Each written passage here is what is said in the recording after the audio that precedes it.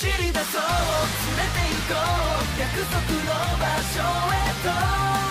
Hola, soy Lish. Y hola amigos, como verán el día de hoy les traigo un nuevo video, esta vez hablando sobre Hanyo no Yashahime, ya que se nos ha revelado nueva información muy importante. Y de hecho creo que ya saben de lo que voy a hablar por el título de este video. Pero bueno, ahora sí, comencemos de una vez con la noticia. Primero que nada, para comenzar, esta información la saqué de Inuyasha 2, la cual publica varias noticias por si quieren ir a informarse allá. Además de que nos informa que esta traducción la hizo Josh. También estará el link de su Twitter en la descripción por si quieren ir a ver. Y bueno, se nos dice que esto lo publicó la página oficial de NTV, el canal que transmite Hanyo no Yashahime en Japón, el cual ha revelado la sinopsis del capítulo 4. Como sabrán, el capítulo que viene es el capítulo 3, por lo cual no es lo que vamos a ver en este, sino en el capítulo del 24 de octubre. Y muy bien, la sinopsis del capítulo es la siguiente. Towa decide volver a la era Sengoku para recuperar los recuerdos de Setsuna. Moroja engaña a Lenokubi, quien controla el árbol sagrado para así abrir un portal al pasado. Al pasar por el portal aparece una sacerdotisa. La única forma de recuperar los recuerdos de Setsuna es atrapar a la mariposa de los sueños. Sota permitirá que Towa viaje al pasado. Mei le pide a Towa que realice lo que debe hacer. Ella le promete volver al finalizar. Las chicas al entrar al portal se encuentran con el espíritu del árbol sagrado. El espíritu del árbol tomará prestada la apariencia de una sacerdotisa llamada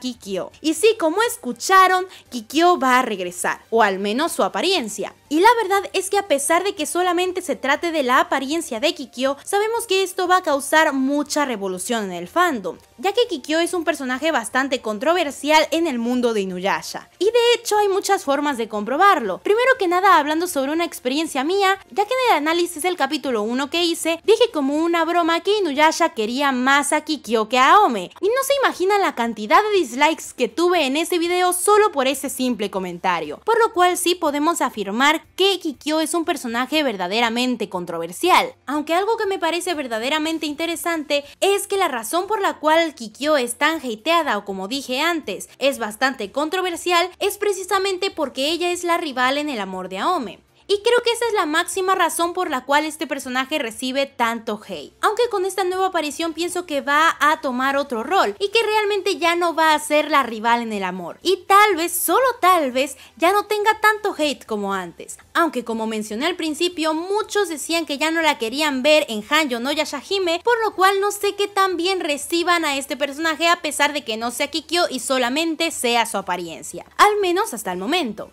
Y dando mi opinión de este tema, aunque realmente no quería entrar tanto en esta controversia, realmente no entiendo mucho el hate que le tienen a este personaje, debido a que a pesar de que es el rival, es un personaje que ayuda mucho al avance de la trama y que es muy importante. Incluso hablando sobre su personalidad, la verdad no es como los típicos personajes que simplemente están ahí para que los odies o de alguna manera te incomoden. A lo que realmente Kikyo no sirve para eso, por lo cual tengo que decir que desde la primera vez que vi esta serie, Kikyo se volvió uno de mis personajes favoritos.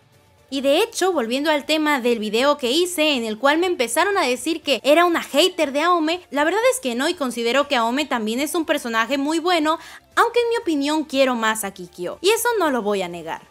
Y aunque me gustan los dos chips de Kikyo por Inuyasha y Aome por Inuyasha, la verdad es que me hubiera gustado que en algún momento Inuyasha tuviera que elegir entre Kikyo y Aome y eligiera rotundamente a Aome, demostrando así que ahora era a ella a la que quería. Pero eso es justamente lo que me molesta de este chip, que realmente no se vio ese pequeño avance. Esto se debe a que cada vez que se presentaba una situación en la que Inuyasha tenía que elegir entre ambas, siempre tenía una duda muy clara y no sabía qué hacer, hasta que Aome le daba permiso de irse y era así como él ya podía decidir. Por lo cual esto es algo que siempre me molestó y me hubiera gustado que Inuyasha tomara la decisión por sí solo. Pero bueno, aún así como dije, me gustan ambos chips, ya que a pesar de que como dije solamente va a tomar la apariencia de ella, aún así creo que a varios les va a molestar que regrese, ya que incluso en el capítulo 1 sabrán que se hizo mención a ella y hubo muchas opiniones diversas, incluso algunas que decían que les parecía de más volverla a mencionar y que incluso lo sentían fuera de lugar, y que realmente deseaban que Kikyo ya no fuera a aparecer en Hanyo no Yashahime, pero lamentablemente aquí está. Y al parecer incluso Rumiko disfruta de toda esta controversia que hay sobre su personaje, ya que sigue mencionándolo e incluso ahora va a hacer que vuelva a aparecer. Y claramente a raíz de esto Kikyo va a tomar mucha importancia en Hanyo no Yashahime,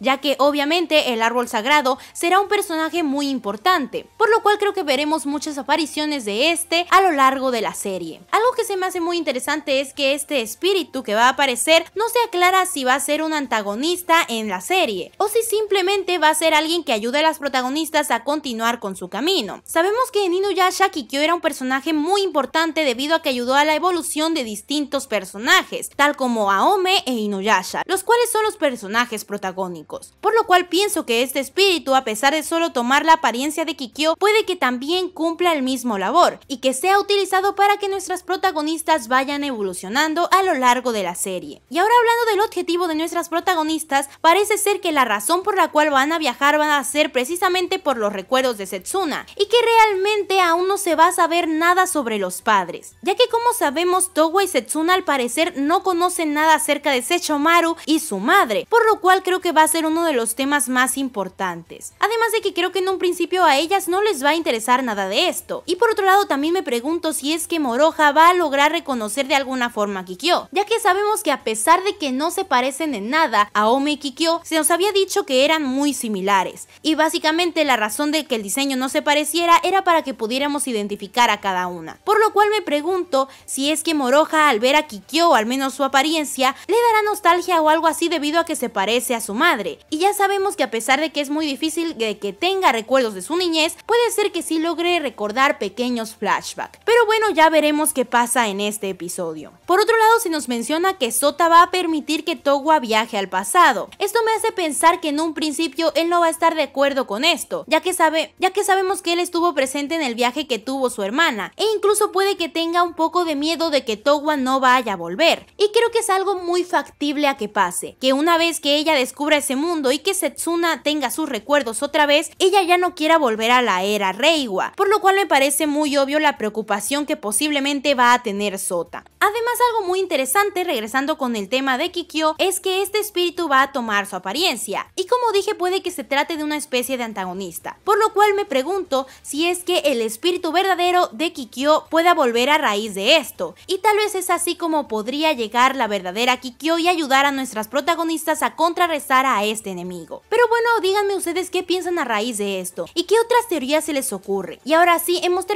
con este video, espero que les haya gustado mucho, no olviden darle like y suscribirse si no lo están, además de dejarme en los comentarios como ya les dije, qué teorías tienen sobre todo esto, y si en verdad a ustedes les guste que Kikyo vaya a regresar al anime, porque realmente a mí me encanta, ya que como dije considero que Kikyo es un personaje muy importante debido a la evolución que le dio a todos los otros personajes y a la propia evolución que tuvo durante todo el anime de Inuyasha, por lo cual estoy muy feliz a que llegue, aunque sé que a muchos no les va a gustar esto. Pero bueno, antes de despedirme, muchas gracias a todos los miembros del canal por darnos tanto apoyo. Y muchas gracias a Lesta Dalmora, Josué Durant, Andrea Fuentes, Pedro E. Trujillo, Jaime Reyes, Emerson Ventura, Shigaraki Tomura, Luisma Acosta, Bárbara Ninao, Paulex29, Mognistar y Calelicio Dinerillo. Y ahora sí, ya sin nada más por añadir, bye bye.